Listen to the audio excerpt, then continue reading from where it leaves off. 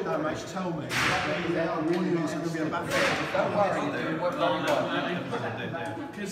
Well, yeah, I mean, So that takes to Just worried about Yeah, I mean, I've got, I've got a 20. I've got a 20 game. If you wanted to. It's only a three bar. And you probably make use of it as well. Yeah, I mean, I'll, I'll take it.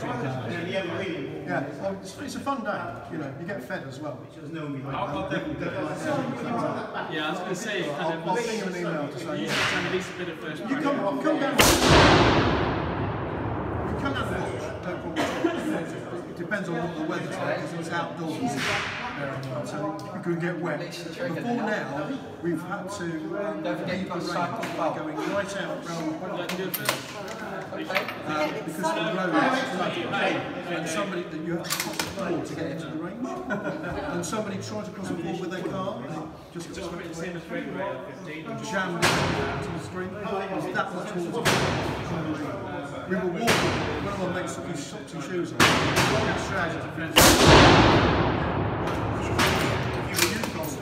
to find find out that it was, the water was shallow enough to actually drop through. It was horrendous.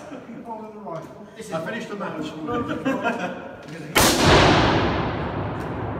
we're getting, we're getting round. So, so, uh, what I think you're doing, obviously,